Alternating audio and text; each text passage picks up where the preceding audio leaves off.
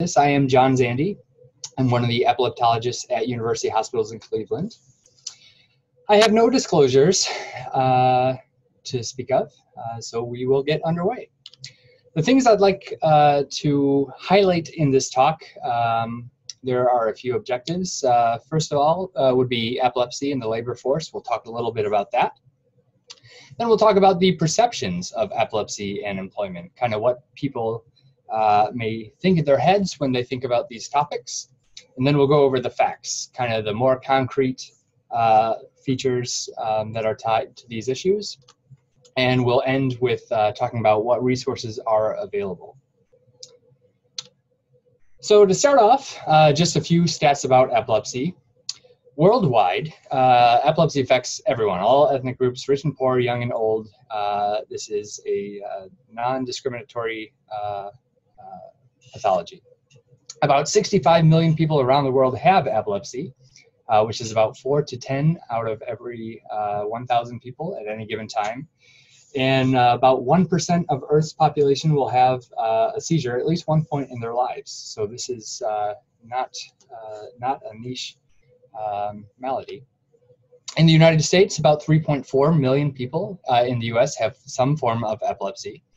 Um, and that is out uh, of the 328 million our population currently stands at. That translates to 3 million adults, 470,000 children, and about 1 in 26 people in the United States uh, will develop epilepsy at some point in their lives. Um, as far as Ohio goes, uh, there are 126,000 active cases of epilepsy. 16, uh, roughly 17,000 of those are children and we happen to rank seventh in the uh, state uh, in the states um, as far as number of cases of epilepsy. So now a few statistics about the labor force. Um, in the United States, uh, we reached a high uh, of uh, as far as our employment numbers of 164.6 million in February of 2020. The unemployment rate uh, was near an all-time low at 3.5 percent uh, and then, of course, uh, unfortunately, everyone uh, knows what happened after that. COVID hit. Um, and as you can see, we have uh, this uh, decrease in the unemployment uh, in, in the unemployment rate over the last decade. And then this big spike here is unfortunately due to what happened with the coronavirus. as far as labor and people with epilepsy, the numbers are uh, a bit concerning. So unemployment can be two to five percent higher than the general population, and even seven uh, seven times higher uh, if the onset of seizures uh, started in childhood. Uh, perhaps no surprise, uncontrolled epilepsy um, patients were most likely to be unemployed, and on the the flip side of that, well-controlled uh, epilepsy patients uh, were about equal uh, to the job numbers of the general population. So what are the financial costs of epilepsy? Uh, when we think about uh, the direct yearly uh, healthcare costs per any person, it's anywhere from 10 to 47,000. epilepsy specific, we're talking numbers about 1,000 to 20,000. So the above number uh, people who have seizures that are well controlled, um, and epilepsy may not factor into those uh, that price of their overall health. But when we look at uh, epilepsy specifically, um, it is uh, quite an additional uh, cost. Those numbers unfortunately climb higher when the seizures are uncontrolled, refractory, or there are comorbid issues associated with that. Um, we also know uh, from the studies that have been done in the past that uh, for uh, people who suffer with epilepsy, uh, the mean annual income has averaged about 25% less than the general population. That, uh, that has changed a little bit, um, but it does uh, continue to reflect the problems of unemployment and underemployment in the epilepsy population. And when we talk about children uh, who suffer seizures, they are more likely, uh, statistically, to live in poverty, and uh, their parents are more frequent to report uh, food insecurity. Um, so, outside of the monetary costs, there are certainly um, uh, lifestyle costs as well. And we'll talk a little bit more about those now. Um, the comorbid conditions that can come with epilepsy, uh, the side effects from anti-epileptic medications. Unfortunately, there's there's no perfect drug out there, and even if the seizures are controlled, uh, the risks of side effects are present. And then we know there's a fairly high comorbidity with epilepsy and depression, uh, and depression does bring about uh, its own uh, quality of life and costs uh, associated with it. Epilepsy, we know, can also impair life goals. Uh, they may impair educational goals, the ability to drive, developing and maintaining social relationships, um, and the uh, employment trajectory. So, if a person with epilepsy does have a job, um, there have been concerns in past studies about their trajectory and achieving kind of that climb of the corporate ladder into managerial positions.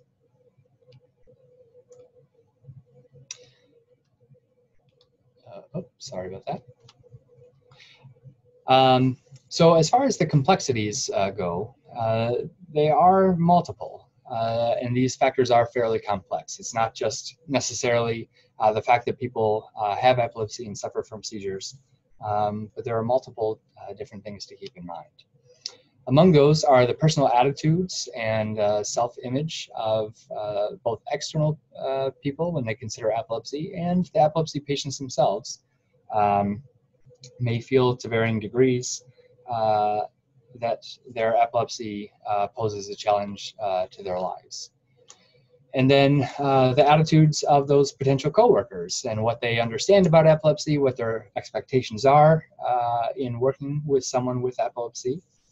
Uh, and then as well as the statutory regulations and the limitations that the law places on uh, people who suffer epilepsy, uh, and we'll talk a bit more about that. Uh, and then finally, seizure control and, and uh, achievements um, coming in. Certainly, as we uh, hinted before, the better controlled seizures are, um, the less it affects our daily lives and may set us up for the achievements that we want to pursue. Um, but if seizures are not controlled, uh, it makes kind of achieving those things uh, much more difficult. Uh, and Craig and Oxley in a study, uh, it's an older study in 98, uh, but uh, did kind of cover this uh, with a nice uh, graphic. the covert issues are those that may not quite be clear to the public eye, but those coming from the outside, like those of the employers and coworkers. the intrinsic fears that, that we face, um, the impaired self-image, potential low expectations, uh, and epilepsy uh, patients uh, have their own uh, beliefs about uh, work and what they, they can and cannot do. Uh, and those are something we'll talk about a bit later um, because they're not always necessarily accurate. Um, and then certainly the statutory limitations being the more clear extrinsic factors that come into it and the comorbidities of, of epilepsy uh, coming in with potential uh, cognitive impairments and uh, uh, school limitations.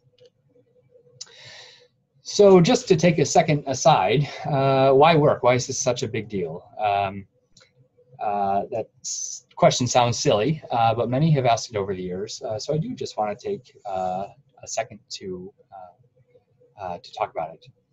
So when we think about what fulfills us, um, there was a study done uh, a couple of years back um, that was reflected in the Harvard, uh, the Harvard Business Review Journal. And the top three things uh, that make for fulfilling lives they found in their survey uh, was a good family, possessing a good self-confidence, and finally having a worthwhile job.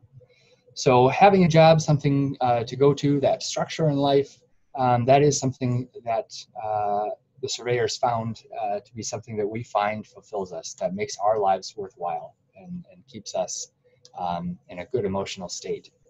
Um, employment status in, in some broader studies have also correlated uh, with mental well-being scores and quality of life. So uh, emotional well-being and energy and fatigue scores uh, were, were better uh, in those who were employed, and this is all comers, uh, uh, not just the epilepsy population, but the general population.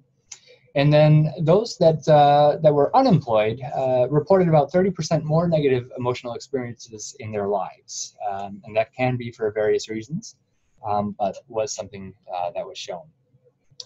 Uh, so a quote from that study, around the world, uh, the employed evaluate the quality of their lives much more highly on average as compared to the unemployed.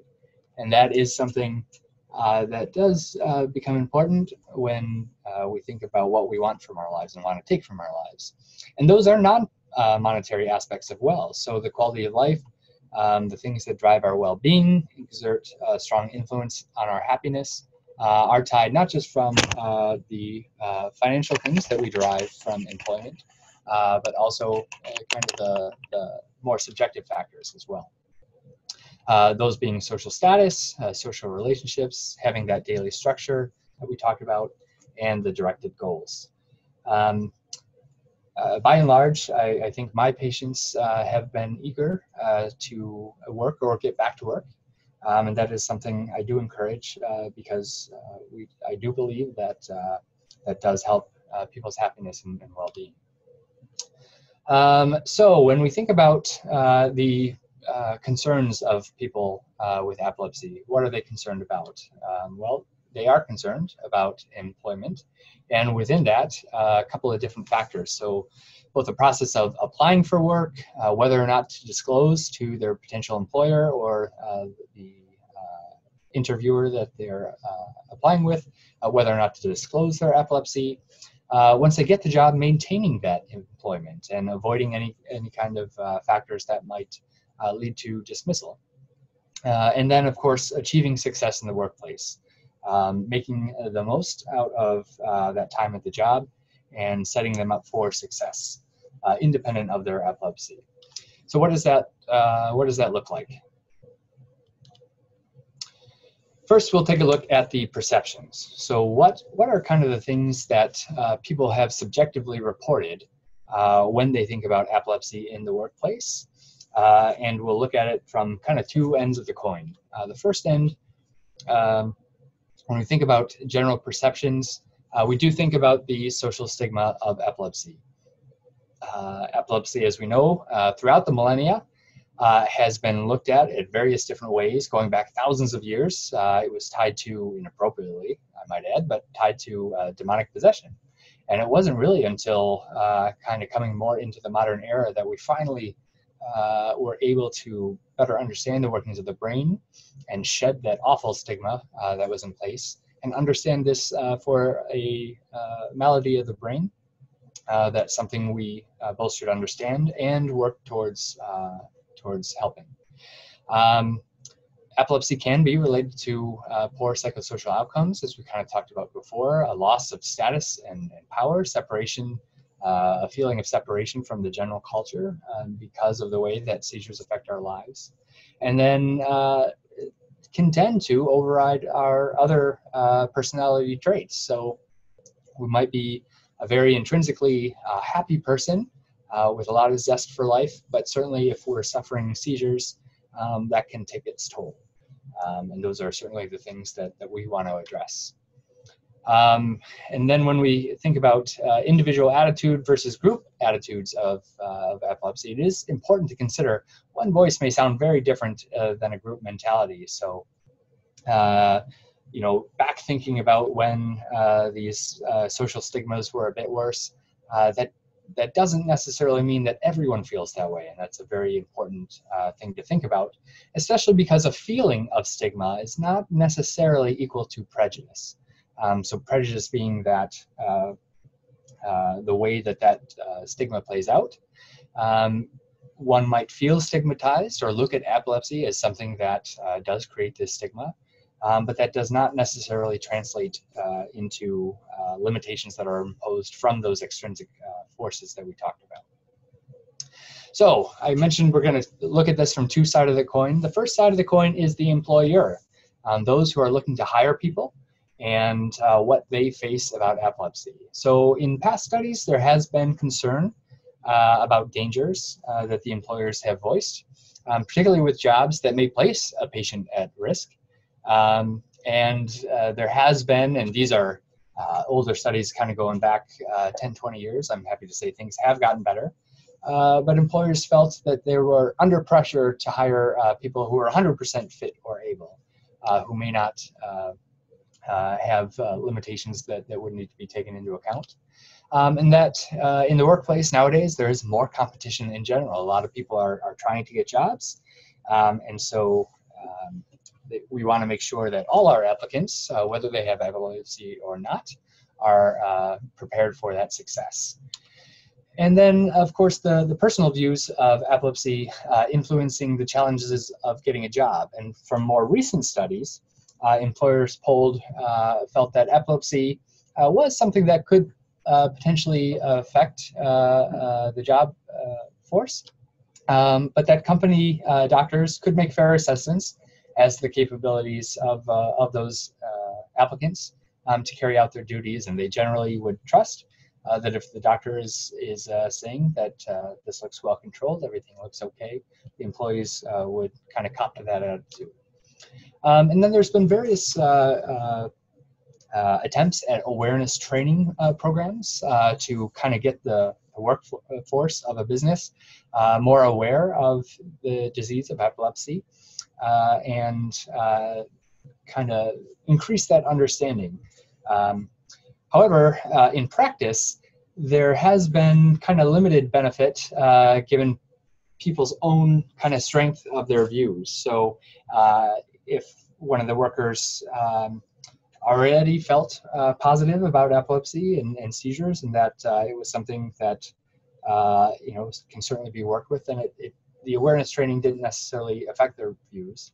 And if there were, uh, conversely, uh, coworkers who uh, kind of had these negative uh, uh, experiences with epilepsy, kind of based on their own personal lives, um, the awareness training hasn't always been shown to help. Now, that didn't really change much if whether or not the training was compulsory, if they had to do it, um, if it was a voluntary awareness training session, or uh, if there was no uh, awareness training at all. It seemed to stay pretty consistent. So looking deeper into uh, employer attitudes, um, there was uh, in the studies an overall lack of employer knowledges, uh, knowledge about uh, the disease of epilepsy, what the, the applicants faced, and what it could mean for the effect on their jobs. Now, because of this variability of uh, personal understanding, it was found to be pretty highly dependent on one's own personal experience. So, if the boss knew somebody with epilepsy uh, and uh, felt either positively or uh, had reservations about their own experiences, uh, those did unfortunately tend to carry over uh, into their thinking. And there is still a fairly poor understanding of how common epilepsy is. So, we talked at the beginning um, that 1% of the world's population uh, is probably going to have uh, a seizure at one point in their life. And when we look at America, uh, 1 in 26 people, that's uh, nearly uh, just under four uh, people um, per 100 who would, who would face this. Um, so it is a very common illness, and employers still don't necessarily understand just how common it is. Um, one of the reasons for that is possibly because epilepsy can be considered a hidden condition. If, if one suffers from seizures, but they're very well controlled, or they only happen at night when they're outside of the workplace, um, it may have uh, no effect on their job, no effect on their life, uh, and uh, nothing that uh, the bosses would even would even think about, um, and that may limit their understanding a bit further. Um, then there is the other problem of uh, having equal opportunities for patients with epilepsy or or other uh, maladies or, or uh, kind of personal um, statistics.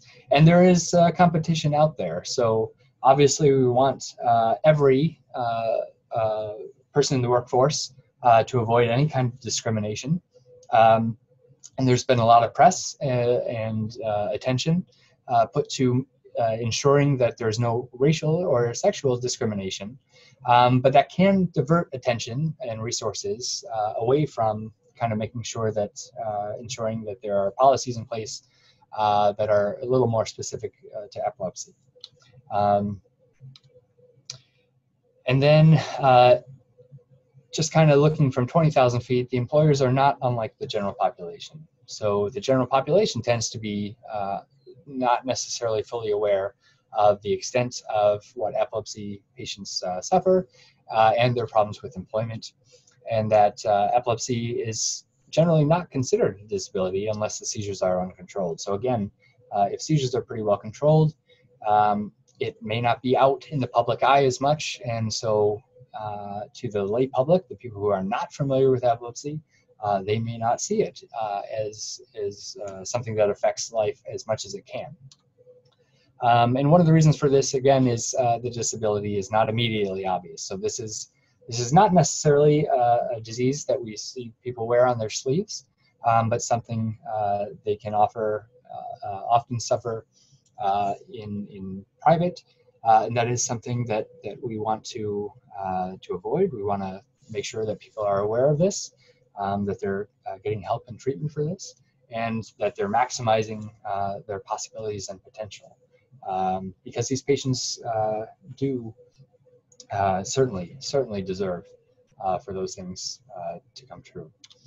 Um, there are concerns for em employers in possible rises of absenteeism, workplace accidents, and general employee safety concerns.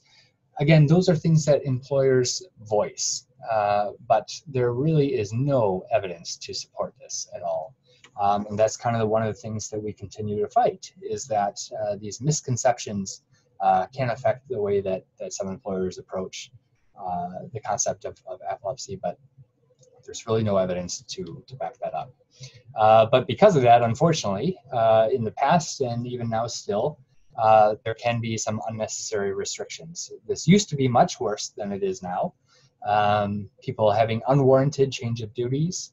Uh, they might be completely capable uh, of, of doing whatever task uh, they were hired to do, but because of uh, the unfounded, uh, inappropriate concerns of their employer, they may be tasked uh, to different duties. And in the in the past, going back a couple of decades, it, tragically, there had been a practice to medically retire epileptic employees. Certainly something that is uh, very inappropriate, uh, and I'm happy to say has been, been changing in the decades since. So the other side of that coin is the employees themselves, um, particularly the, the patients with epilepsy who are uh, looking to, uh, to get a job, maintain their job, uh, and uh, how that interacts with the social acceptance uh, in their workplace. So again, it is highly dependent on people's knowledge of epilepsy based on their personal experience. Um, there are a lot of broad and diverse understandings. Again, people may be very familiar with epilepsy, and others uh, may not know what a seizure is. Um, and because of that, there have been in, uh, misconceptions. Uh, the nature of the unpredictability of seizures, the need uh, and degree of first aid uh, that some coworkers may feel like they need to be ready at any time to, to administer, not necessarily correct. Um, and so because of those uh, misconceptions, that is uh, a hurdle uh, that has been voiced uh, in the studies of people with epilepsy and applying for, jo- applying for jobs and both when they have the job as well. There also does tend to be an internalization of these community attitudes. Um, we mentioned the stigmas and negative attitudes uh, that have uh, occurred in the past. Luckily, those are getting better. Um, and generally, uh, in more recent surveys and more recent studies, uh, the public generally has a positive attitude uh, towards their colleagues uh, who have epilepsy, and those with epilepsy having more positive attitudes themselves. Um, now, with that, uh, there is some degree of reporting of an expectation of rejection. If the employee, the potential employee with epilepsy, uh, might be hesitant to disclose the fact that they have epilepsy to employers, and we'll talk a bit more about that um, as we go on. So employee uh, attitudes are largely dependent on control. Uh, no real surprise there. If, uh, if the patients have seizure freedom, uh, they're in remission, uh, as we talked about earlier, they tend to report a better quality of life. Um, the things that do impact their quality of life uh, are particularly uh, with a degree of their seizure control and the unpredictability of uh, potentially having seizures. Um, again, uh, there is the impairments that patients face uh, to the external perceptions and their internal perceptions of what their their epilepsy may uh, encompass and the challenges that they face. comorbid issues with their general health, their mental health, their roles in society, all are things that patients with epilepsy have voiced as things that uh, they're concerned about, particularly in the setting of uh, what their work uh, life might look like. And these are impacted by, again, uh, their kind of underlying personality, uh, their social support systems, uh, and their intellectual abilities. And some of the things that people with epilepsy have voiced as concerns when looking at getting a job uh, include uh, a misperception that, that you have to work to be normal. Uh, that's not necessarily true. Um, again, uh, I mentioned the studies earlier that uh, there can be a more positive uh, emotional attitude with, with gainful employment, but certainly not the fact that you have to work to be normal. Um, or having enough education to work, that is, is also not true. Um, fears of work injuries, both from uh, those people who support you, the family, and, and those uh, views that are held uh, themselves. Um, and then the false perception uh, or incomplete uh, uh, view that they might injure a coworker or get injured themselves if they're at work. and then certainly the way that seizures would affect their performance uh, and again, the underlying views of, of uh, their support system. So all of that was a bit of uh, perception. And again, perception is not always reality. Um, certainly there can be kernels of, of truth uh, laid within about how it affects life and uh, the day-to-day possibilities. Um, but I want to kind of switch uh, and talk more about the facts now. what does epilepsy and employment look like? and uh, how has that uh, changed over time. So uh, to think about seizure types and employment status, uh, believe it or not, uh, there is uh, some dependence on what types of seizures you have as far as statistics go. Um, as you can imagine, people with more frequent seizures tend to have a higher rate of unemployment as a group. And particularly those with generalized tonic-clonic seizures are less likely to be employed. Um, however, uh, those that suffer uh, tonic-clonic seizures, as long as they're in remission, tend to correlate uh, employment uh, status uh, with just the general population, and it's uh, less likely something to be associated with their, their seizure. Um, and then, as we kind of teased at the beginning of the talk, the younger age of seizure onset does tend to be associated with a higher rate of unemployment.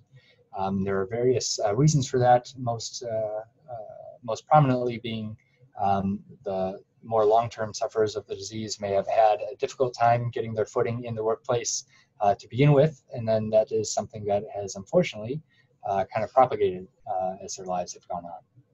Now, of course, there are other are other factors, as we mentioned before, medication side effects and the psychosocial issues that come with epilepsy at times. those involving self-esteem, uh, coping mechanisms, etc. So enter the Americans with Disabilities Act, or the ADA. It was developed in the 90s, and they kind of revisited it in the uh, mid to late 2000s. It is a federal law prohibiting discrimination against qualified individuals with disabilities, period. So any uh, qualified individual with any disability, there is federal law prohibiting that discrimination. Now, it does uh, apply to the federal, state, and local levels. Um, with the ADA itself, uh, it does uh, cover both uh, public and private employers uh, with 15 employees or more. So you might think that those with uh, fewer than 15 employees may not need to may not be under the mandates of the ADA. But luckily, more local governments uh, in the states uh, have their own laws prohibiting any employment uh, discrimination, no matter how many employers you have, and, and that is um, obviously something that is is important. Um, and these things are enforced by the U.S. Equal uh, Opportunity Employee uh, uh, Employment Opportunity Commission, or the EEOC. So what do they do? Uh, well, they um, they enforce uh, the mandates of the ADA, and on their website, there's actually a whole section to, uh, devoted to epilepsy. Again, this is a, a blanket policy against any kind of disability, um, but I was pleased to see that they do give uh, epilepsy uh, its own uh, web page uh, and kind of break down the stipulations uh, with. Uh, so I do encourage you to check out their website um, as it does provide further information. Um, as far as what they consider epilepsy to be, it's pretty much in line uh, with what epilepsy is, and that's a chronic neurological condition characterized by recurrent seizures. So again, they enforce the provisions of the ADA um, and uh, those particularly that apply to uh, patients with epilepsy.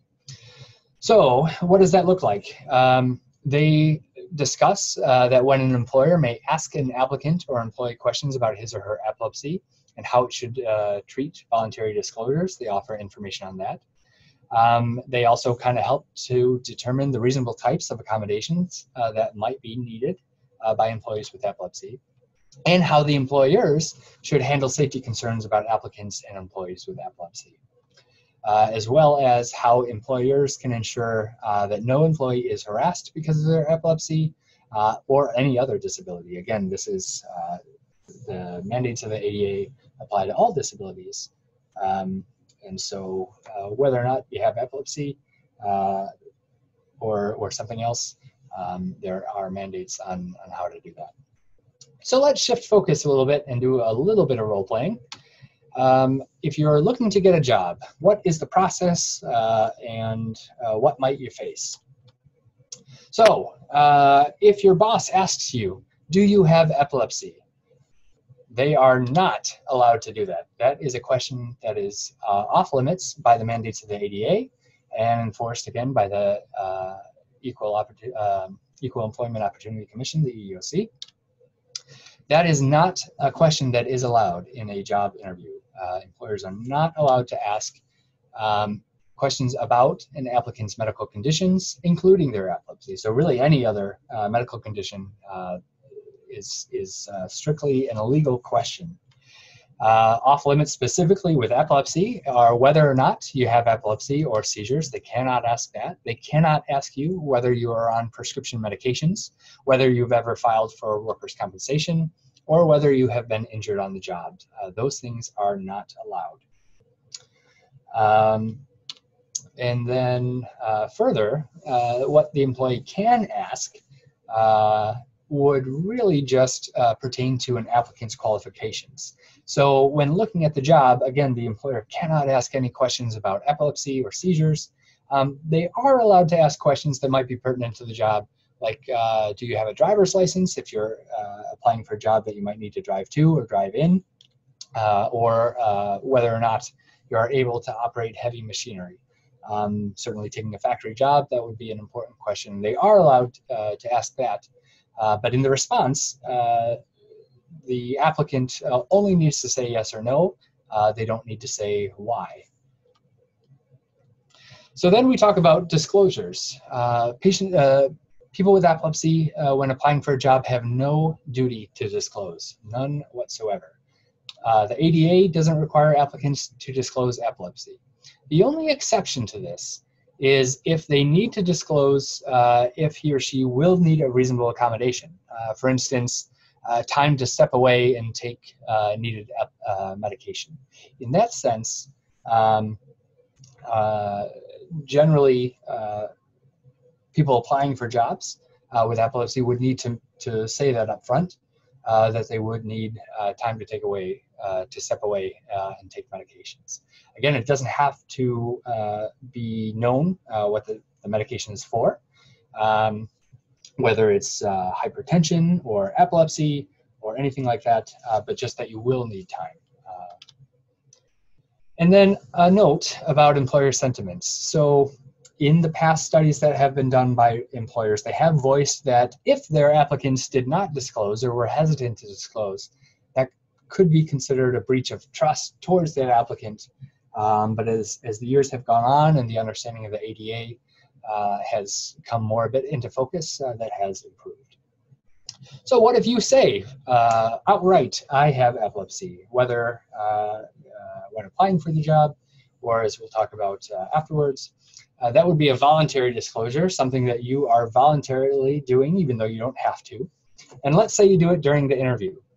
Even if you tell them, I have epilepsy, the employer cannot ask follow up questions. They cannot ask about the nature of your epilepsy, the treatment of your epilepsy, what that looks like, if your epilepsy is going to get better or worse, the prognosis. Those questions are off the table uh, and they are not allowed to ask them. It's illegal to do so. The employer can ask, again, whether the applicant will need an accommodation. Uh, so let's say you say, I have epilepsy the employer's answer to that would be, uh, is there anything, uh, any kind of accommodation that you would need uh, in looking at your job, whether that be time uh, or maybe a slight adjustment of the position. Um, those things are uh, are some uh, questions the employee can ask.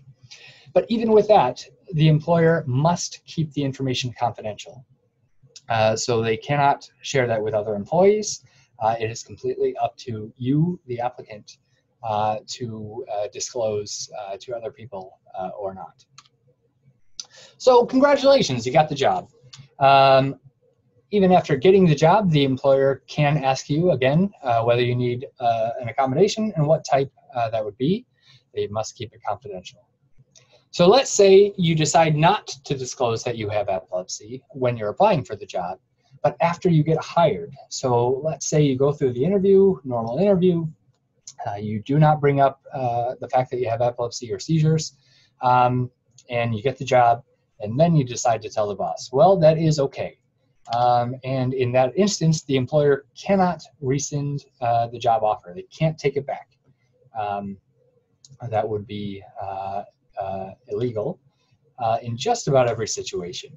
Uh, the same rules uh, further apply regarding questions. If you tell them after the job, after they give you the job that you have epilepsy, they can't ask more about how your seizures are controlled, what medications you're on, what the prognosis is. They cannot ask any of those questions. Again, the only things that they can ask are whether or not you might need a reasonable accommodation. The one exception to this would be if you've lied about your capabilities.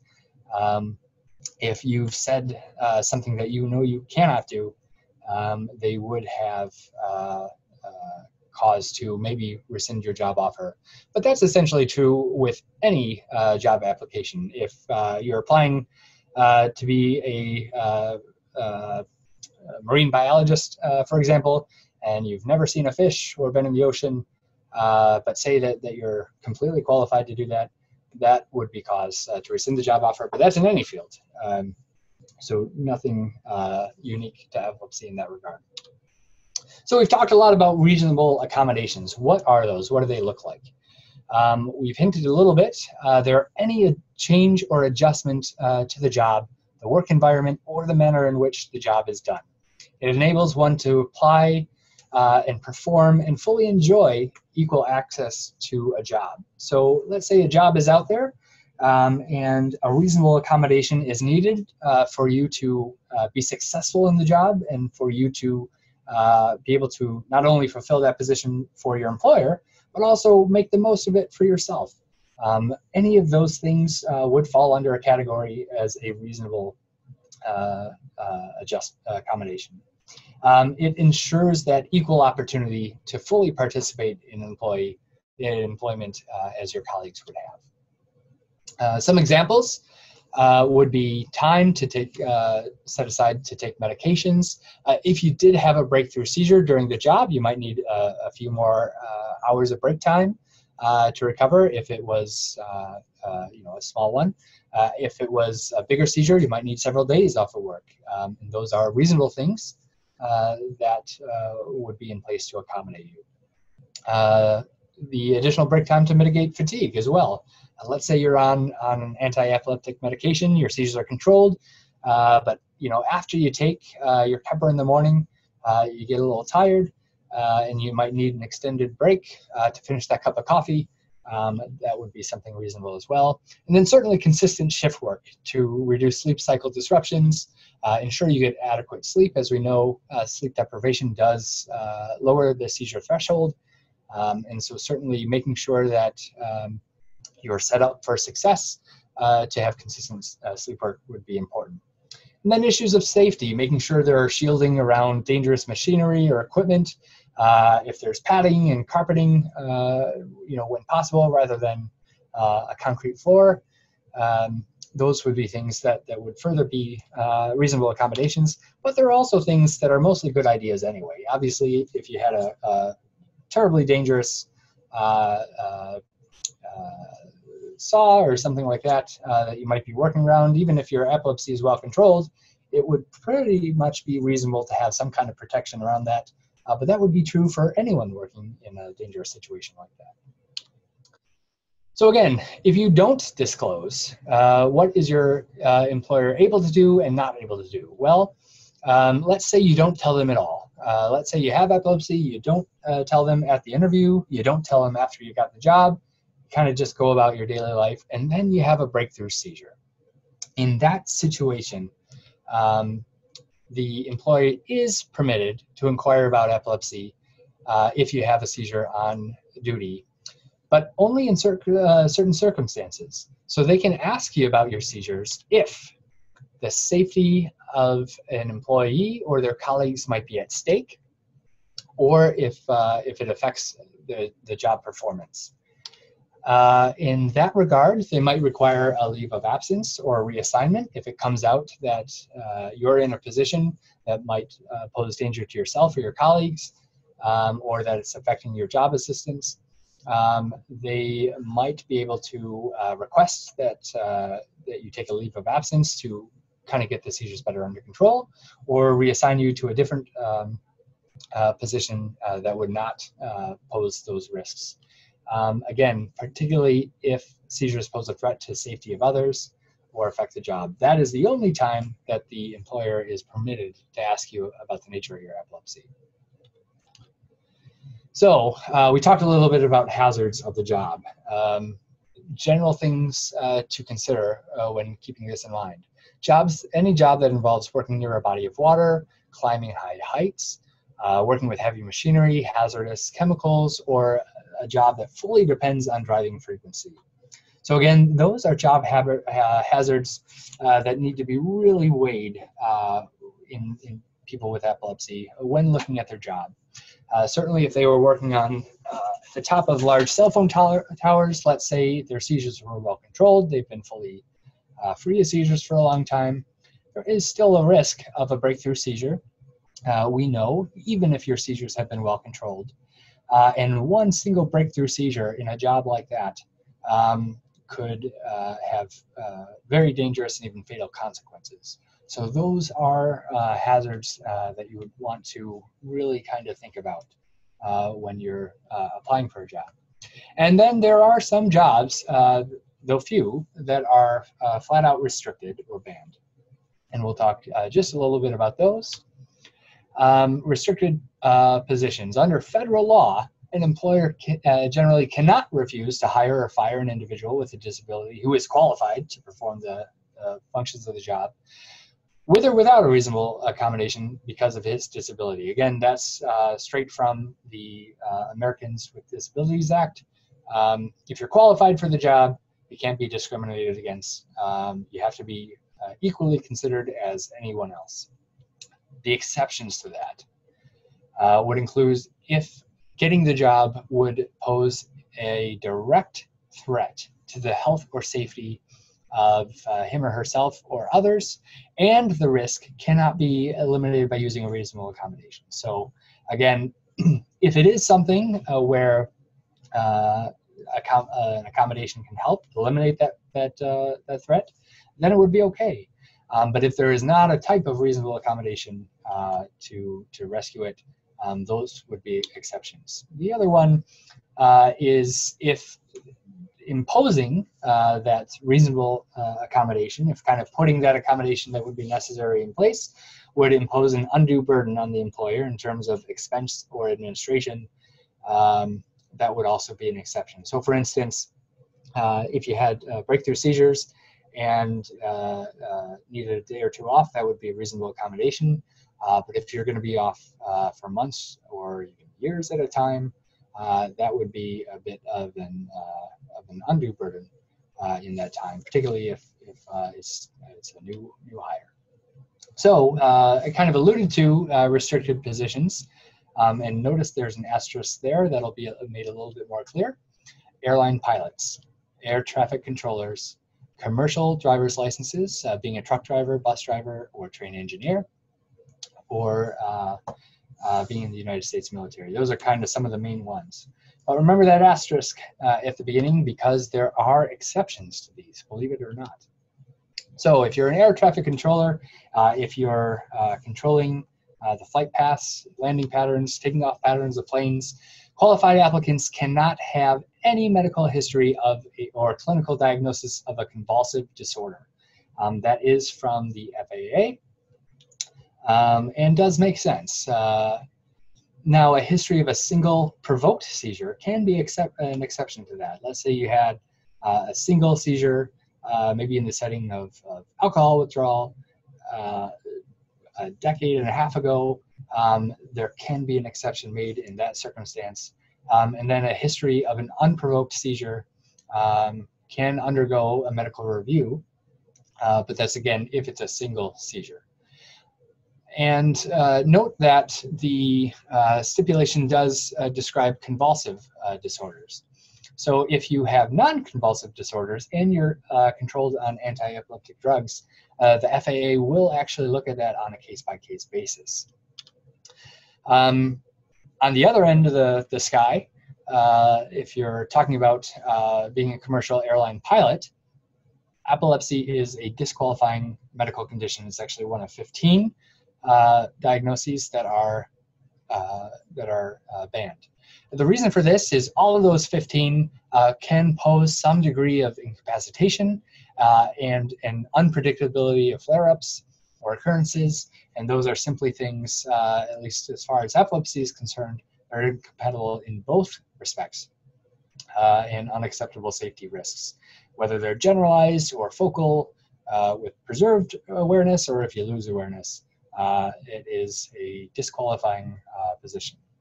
Now, the permanent uh, disqualification uh, from flying duties would also need to be reported to the Civil Air uh, Aerospace Medical Institute uh, if you carry that diagnosis of epilepsy. But, but again, uh, there are asterisks uh, with with these these jobs. the asterisk here is while you can't be an airline pilot, um, there are special issuances um, particularly of a third class airman medical certificate where you could uh, become a uh, private uh, pilot uh, for a uh, small plane, be a recreational pilot certificate, uh, and get even solo privileges as a student pilot. Now, those regulations are certainly a bit higher than full fledged pilots, but it is an exception. Um, now, with that, you must, uh, in order to even be eligible, you must remain seizure free for 10 years and off medication for a minimum of uh, three years uh, within that time. Um, but if you are on any kind of, uh, kind of medication, that will still disqualify you. It doesn't matter how long you've been seizure free, you have to be off the medications. The anti epileptic medications themselves, uh, the side effects that they pose, are really incompatible with flying. And that makes sense. Uh, if you, again, get a little drowsy or uh, maybe have, have uh, a tremor or something that, that limits you or could affect uh, your flight pattern, um, even that small plane can be very dangerous, obviously, for you and the people on the ground should something happen. Uh, so they do say no to that. Now, driving with epilepsy. That is a pretty familiar topic. about 0.01 to 0.1% of all accidents, about 1 in 1,000 to 10,000 accidents, uh, have been found to be caused by epilepsy. Um, and when we look at fatal uh, accidents, uh, about 0.2% uh, of uh, all motor vehicle fatalities are caused by, by epilepsy. Now, the re relative risk of crashes uh, range from equally likely to twice as likely as the general population. So it, it is something that, that does affect us. Now, Uh, that is in context because alcohol use, fatal crashes, are about eight times more likely uh, than the fatalities caused by seizure. So everything in perspective. And then if we separately look at commercial truck drivers, these are not, uh, you know, in the in the realm of uh, epilepsy, but just the job itself. Uh, for a normal commercial truck driving uh, employee, of all the occupations in the U.S., truckers experience the third highest fatality rate. It is an extremely dangerous job, accounting for 12% of all worker deaths. 60%, uh, 6% of trucker fatalities do occur on the highway, um, where they often spend a lot of time. Uh, so already a very dangerous job. And then uh, when we think of epilepsy in that setting, a history of epilepsy precludes individuals from obtaining unconditional certification. And I uh, have that word in italics for a reason. Uh, to drive a commercial motor vehicle uh, for interstate commerce, and that is uh, per Title 49 of the Department of Transportation's codes. Um, they interpret this to uh, to mean a permanent disqualification of anyone with a history of epilepsy, regardless of whether or not their seizures are controlled. However, this should not be an unconditional uh, exclusion of all individuals uh, from driving with a commercial motor vehicle uh, and conditional certification may be possible in some cases. So even though uh, that word uh, unconditional is uh, comes within the title code, there are exceptions. Um, as far as a commercial driver's license, the U.S. Department of Transportation does allow people with a history of epilepsy who have been seizure-free and off medication for 10 years uh, to be considered uh, for a commercial motor vehicle license. Now, if you have a single unprovoked seizure, drivers who have had one of those, um, by definition, do not have epilepsy. And uh, as long as they're seizure free and off medications uh, for five years, um, they can be considered. And an earlier return to work, even in the five years, can even be considered for drivers with a normal EEG who have no epileptiform activity uh, and neuro, uh, normal examination by uh, their neurologist or epileptologist. Now, uh, the Department of Regulations uh, does uh, apply these rules to truckers, mostly to truckers who cross state lines, those who transport goods interstate, uh, those driving vehicles over 13 tons, hauling hazardous materials, or carrying more than 15 passengers uh, in the realm of, let's say, a commercial bus driver. Even still, with that, a 2014 medical expert panel for commercial motor vehicles um, hired by the Department of Transportations, came up with some different rules. Um, they stated that individuals with epilepsy could contain, uh, obtain uh, conditional CMV certification if the seizures were controlled for a minimum of eight years, whether they're on or off seizure medications, and if they're off meds, again, they have to be uh, seizure free for eight years from the time that they stopped medication. If they are still on meds, they have to be seizure free for eight years and be on the same regimen for two years. So no, no switching up medications uh, due to side effects or any other reason. Try and get better control. Has to be the same medication regimen uh, for two years. Um, if granted that conditional uh, basis, they must be recertified annually uh, for their, their license. But even with that said, um, I have not seen anywhere that those recommendations from that panel have been adopted anywhere um, but something that, that certainly may be uh, considered in the future.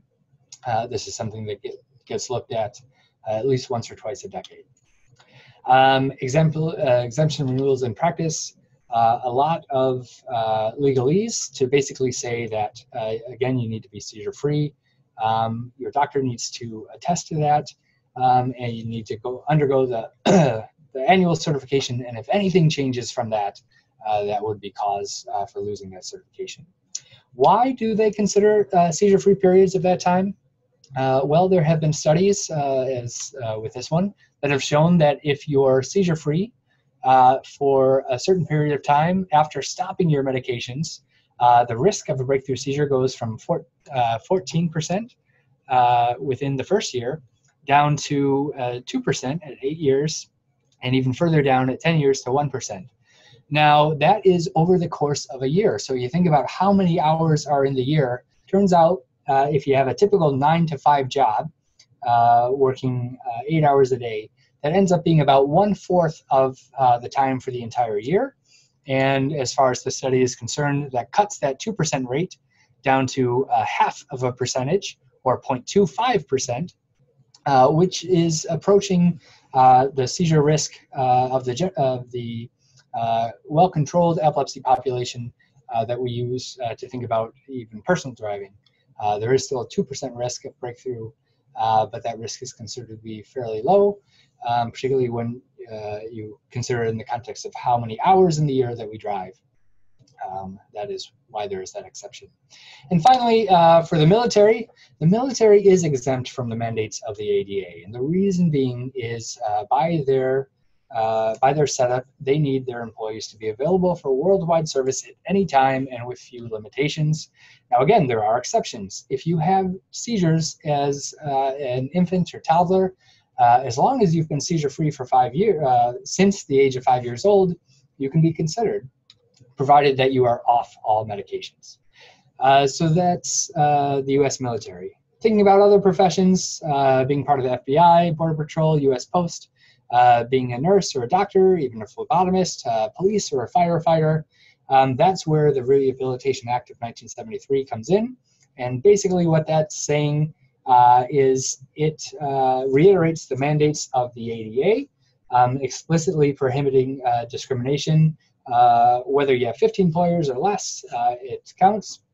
Uh, and it stipulates uh, that there should be uh, individuals in the workforce with disabilities, and ideally 12% of the workforce would fit that, that category. and then 2% of the workforce with a targeted disability. So in this consideration, for those jobs, 2% um, could have epilepsy from a quota standpoint, um, and uh, should be uh, a target for uh, looking at their employment stats. So uh, certainly accommodations may need to be made with some of these uh, professions, uh, but they are not banned, they are not restricted. So finally, just a minute to talk about the resources um, that, that are available. So vocational rehabilitation, let's say uh, you got to your job and then all of a sudden you developed a seizure disorder, state and federal programs can help uh, uh, people with those disabilities overcome their job bar uh, barriers with therapeutic counseling, guidance to match abilities uh, with potential switches in positions, re-education and job skill training uh, to try and ensure if you do need a change of career, um, that you are able to do so, and also train you to have job readiness and assist with the search, uh, the job search and placement. And uh, of the studies that have been done, almost half of the people who received uh, services uh, to this degree are able to get not only employment, but competitive employment. And those are the ones who have been more likely uh, to get help with job placement and uh, job support and maintenance. Now, your doctor plays a role into this too. The role of the neurologist or the epileptologist should be to counsel patients about work issues in light of the type and frequency of their seizures. So certainly, uh, we in the medical uh, profession would advise um, that you avoid uh, jobs that strictly are, are having to do with driving um, or working in high or precarious places, um, or those that, that evolve around dangerous machinery. Certainly, if you're looking for jobs out there, it would be wise to avoid things that, that could uh, uh, control the risk. Again, not something that would necessarily be banned, uh, but in thinking about what is best for you, your colleagues, your safety, um, we as doctors do want to make sure that we're caring for you in every aspect of life. But with that said, we should be encouraging and facilitating uh, your pursuits of happiness and fulfillment. Uh, and as from the beginning, uh, work does play into that, and we should 100% make sure that that is something uh, that we help break down the barriers to. Something that I tell all of my patients uh, is that my goal as an epileptologist is to try and make you forget that you have seizures other than the fact that you, you take your medication. And what I mean by that is I want uh, my patients to live uh, their fullest life, their happiest life, um, and not have uh, their seizures be something that interferes with any of that. That is the goal. Um, Obviously, sometimes uh, there's some difficulty in achieving that, um, but we should always be working towards that benchmark. Uh, and lastly, uh, the Epilepsy Foundation does have a very nice page about epilepsy employment. Uh, this particular page I'm showing uh, gives advice about disclosing epilepsy with a potential employer. but as you can see, there are many other um, subcategories and topics that they offer further information on, should you want to look up further.